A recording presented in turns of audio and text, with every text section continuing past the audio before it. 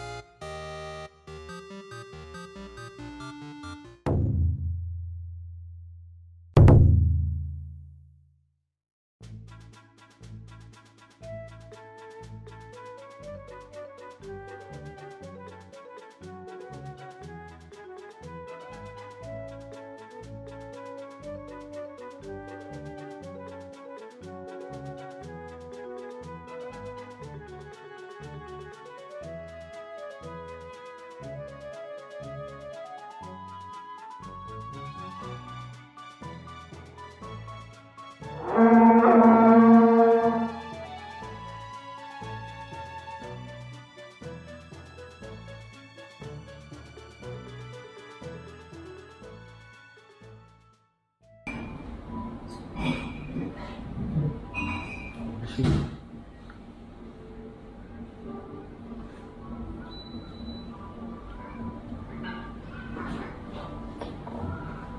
味しいよね。匂いがすごい。あ、そう、甘酒みたいな匂いする。みたいな匂いがする。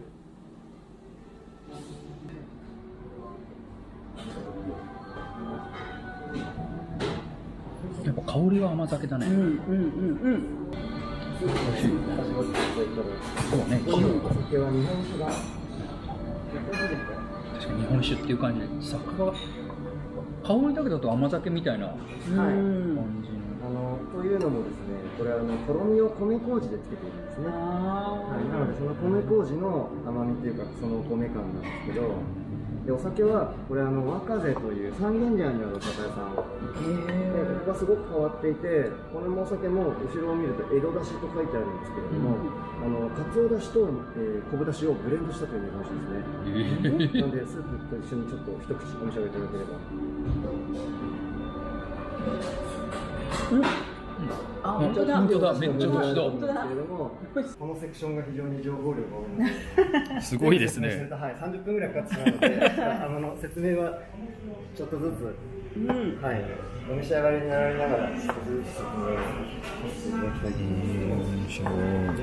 でで発酵熟成の期間も普通のお味噌の半分ぐらいで作ってるんで、なので、あの熟成させると色がこう茶色くなって黒くなっていくんですけど、はいは熟成が短いので白いまま。であと米麹が普通のお味噌よりも多いので、このお米の甘さが、はい、出てくるんですけれども、ちなみにこれがそのお味噌を作ってるというすごい。はい、およそお味噌を作ってるようには見えないと思うんですけれども、こんなに来る。はい、この作り方が非常に変わっていて蒸し上げた大豆にお塩を加えずに2週間ほど発酵させるんですけどこの発酵の過程でお塩を加えてないんで普通だとあの腐敗してしまうんですけど、あの麹菌由来の白カビを周りにびっしりと這わせるんですね。そうするとこのカビが腐敗を防いでくれてでこのカビの下ではあのにあのチーズに近い乳酸発酵が行われていてで食べられる前によかったらまず香りをちょっと嗅いでいただきたいんですけどもこれですこれ。こっちです4度目ですねはいあの本当にウォッシュチーズとかブルーチーズみたいなチーズの香りがします。で味わいもあの目つぶって食べるとチーズ食べてるようなコクがあって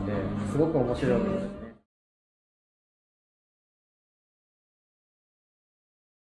するけどさ。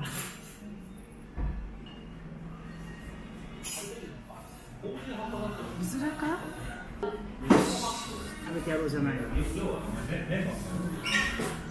作ってるうずらが全然臭くならないですよね。腸内環境元気になって。もうもうこの姿と思いながらもありがとう命をいただいてる。これうずらの親鳥って背景って捨てられちゃうんですけど、うんでもなんかすごい元気なうずらだから食えんだろうって思って引き取ってきてやって。るんですよ。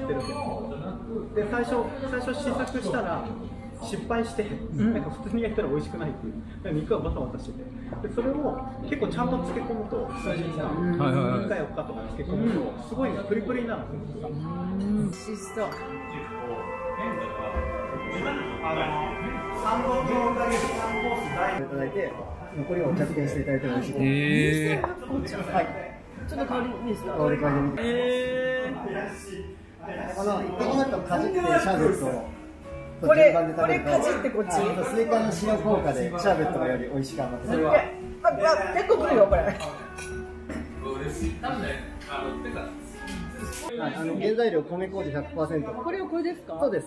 色が色が違うのはなんだろう容器とあれあのそうですね、まあ、あの量のものだと思うんですけど、今お継ぎしたばっかりで、ただ、あの1杯目ちょっと浅くお出ししたんですけれども、これ、時間が経ってもっと色が濃く出てくると、よりこの麹の甘みが出てきて、ちょっとみたらしみたいになるので、2杯目もぜひお楽しみこのスイカめっちゃうまいですね。美味しいすごい。美味しいこれめっちゃうまいわ。美味しいでも、シャーベット自体結構シンプルに、スイカと蜂蜜を使ってます。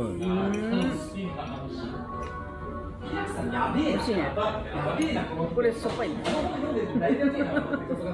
すごいねこれ